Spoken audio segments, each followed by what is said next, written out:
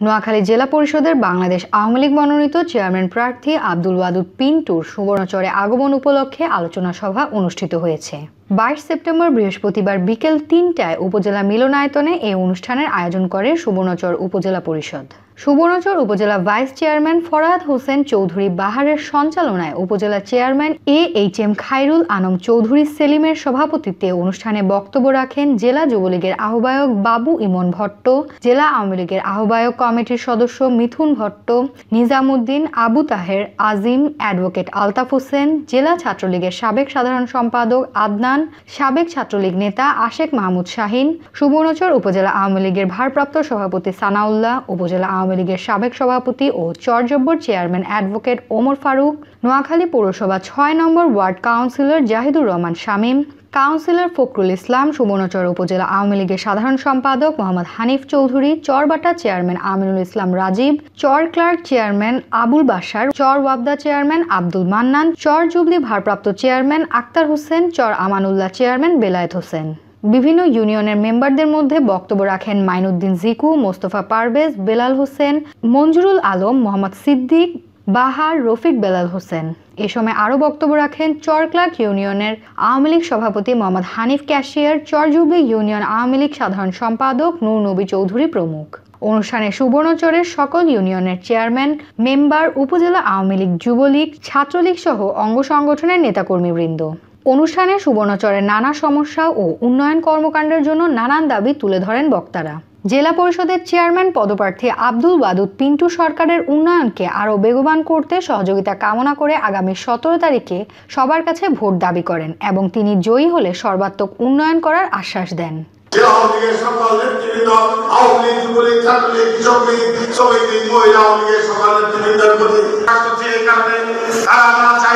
আমি এই জায়গায় দাঁড়াতে পারতাম না, আমাকে মনোনয়ন দেওয়া না। এই জন্য আমি একজন রাজনৈতিক কর্মী হিসাবে আমি দীর্ঘদিন এই দলের রাজনীতির সাথে জড়িত ছিলাম। আমি অনেকবার দলের কাছে মনোনয়ন চেয়েছি। আমি পাইনি। আমি বিচ্যুতি হইনি। আমি কখনো দলের বিরুদ্ধে কোথাও ভোট করিনি। আমার জীবনে সবচেয়ে বড় পাওয়া ওবায়দুল কালাম আমাকে মনোনয়ন দিয়েছে। আমার আর কোনো কিছু পাওয়ার নেই। আমার এটাই সবচেয়ে বড় পাওয়া তাই আমি ওনাদের প্রতি আবার কৃতজ্ঞতা প্রকাশ করছি। আমি আপনাদের কাছে একটি কথা বলতে চাই। আমি একজন রাজনৈতিক কর্মী হিসাবে অনেকবারে দলের কাছে মনোনয়ন চেয়েছি, পাইনি। কিন্তু এবার আমাকে দয়া করেছেন, দিয়েছে। আমি প্রথম আপনাদের সাথে সামনে এসেছি জনপ্রতিনিধি হওয়ার জন্য। আমি সমস্ত জনপ্রতিনিধিদের কাছে আমার একটি আগুন আবেদন থাকবে। আমি আপনাদের একজন ভাই, আপনাদের একজন বন্ধু, আপনার, আপনাদের কাছে সন্তান, আপনাদের পরিবারের একজন সদস্য হিসেবে আমি আপনাদের কাছে থাকতে চাই। আল্লাহ যদি আমাকে সুযোগ দেয় ওনাদের পরামর্শ নিয়ে, এখানে যারা আছেন, তাদের পরামর্শ নিয়ে এই ইউনিয়ন পরিষদের চেয়ারম্যান, মেম্বার সংরক্ষিত আসনের যারা আছেন আপনাদেরকে সাথে নিয়ে এলাকার উন্নয়ন করব। আপনাদের জন্য আমি যদি নির্বাচিত হতে পারি, জেলা পরিষদ আমার নয়, জেলা পরিষদ আপনাদের তা আমি আশা করব যে পিন্টু যে সূত্রটা বলছে, এটা মুখের কথা। পিন্টু তার জীবনে প্রমাণ করছে যে সে একজন ভালো রাজনৈতিক কর্মী এবং ত্যাগী রাজনৈতিক কর্মী। এই যে আমাদের একটা ঘটনা ঘটছে, আমাদের একটা আহ্বায়ক কমিটি হচ্ছে, আমাদের একজন প্রদেশের সেক্রেটারি আমাদের এক পেশে ওনাকে বাদ দিয়ে আমাদেরকে একটা কমিটি করে দিয়েছে। এটা আমাদেরকে মানছে, ওদেরকে মানে না ওদেরকে এই পিন্টু একমাত্র নেতা। আমি বলি, সে কিন্তু দলের বাইরে একটি দিনের জন্য সে দলের ভিতরে ছিল, দলের মধ্যে ছিল। সে এই ধরনের পরীক্ষিত না পিন্টু ভাই, আমি ওনার কাছে ওনার কাছে একটা দাবি আছে। আমাদের। আমার সচেতন বড় আরও একটু ভাই আমাকে অনেক সচেতন করছেন ভাইয়ের কাছে আমরা আর্টিকেল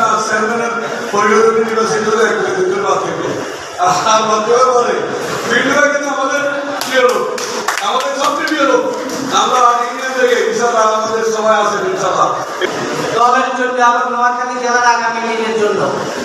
দল যাকে পরিচিত মনে করছে তাকে নমিনেশন দিছে সকল দিক বিবেচনা করে আমাদের ত্যাগী নিবেদিত, নির্যাতিত, বারে বারে কারা নির্যাতিত নেতা?